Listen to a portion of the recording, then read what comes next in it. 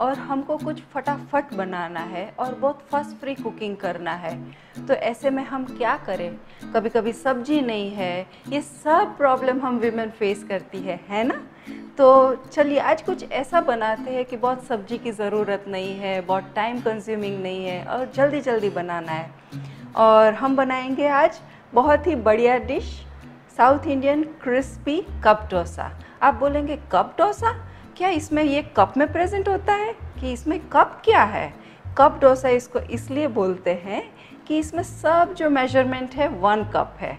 इसीलिए इसको बोलते हैं क्रिस्पी कप डोसा। इसमें हम आज चावल का उपयोग नहीं कर रहे इसमें हम जो यूज़ करेंगे वो है उड़द दाल, चना दाल और बेसन। उड़द दाल कितनी लेंगे? वन कप चना दाल लेंगे। कितनी लेंगे? One cup. वॉश करके सोक करने के लिए रख देंगे। अभी जो मैंने मेज़रमेंट लिया है, वो है एक कप, यानी कि करीबन 250 फिफ्टी लेकिन अगर आपके पास ये मेजरिंग कप नहीं है तो आप कोई भी साइज़ का कप अपने उपयोग के हिसाब से यूज़ कर सकते हो।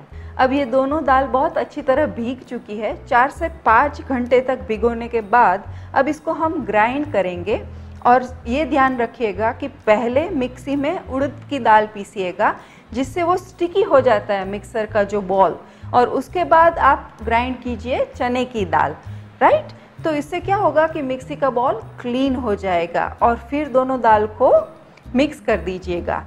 अब ये बैटर पीस चुका है तो अभी डालेंगे हम वन कप बेसन।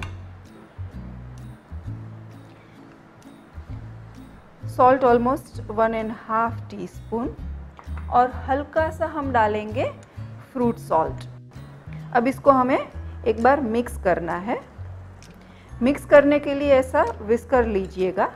इस बैटर को फर्मेंट नहीं करना है। जब भी आप पीसे, आप उसको यूज़ कर सकते हो। अब इसमें हम डालेंगे पानी।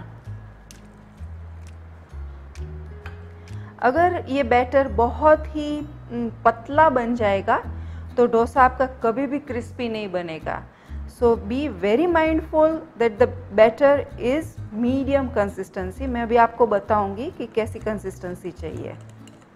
अगर आप चाहे तो इसमें थोड़ा जिंजर चिली का पेस्ट भी डाल सकते हैं, उससे वो टेस्टी लगेगा।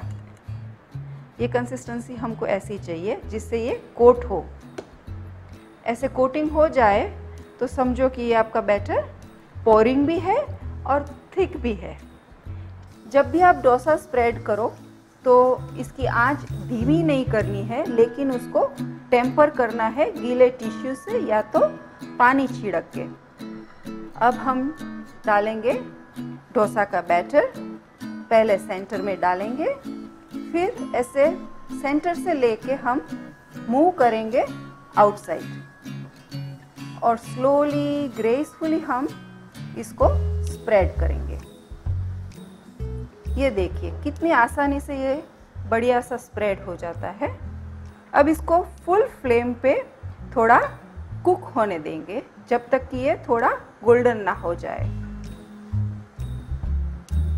अब इस पे हम डालेंगे हल्का सा ऑयल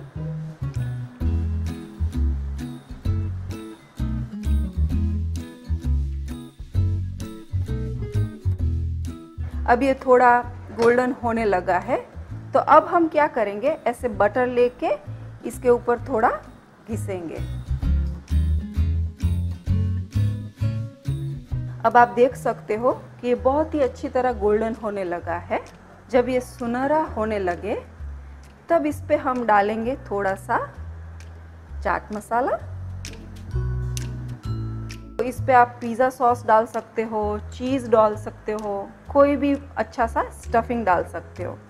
ये डोसा बहुत ही क्रिस्पी होने लगा है, आप देख सकते हो। लास्ट में हम डालेंगे रेड चिली पाउडर इसके ऊपर थोड़ा डालेंगे धनिया। ये देखिए, कितना ब्यूटीफुल कलर आ रहा है। अब डोसा, हम ऐसी जो एकदम स्लिक एज हो, ऐसा ही लेना है हमको स्पैचुला तो ये देखिए, फटाफट ये डोसा बना। इसको हम फोल्ड करते हैं and wow this is one of the best dosa देखिए आहा, कितना क्रिस्पी हुआ है राइट right? तो अभी हम इसको सर्व करेंगे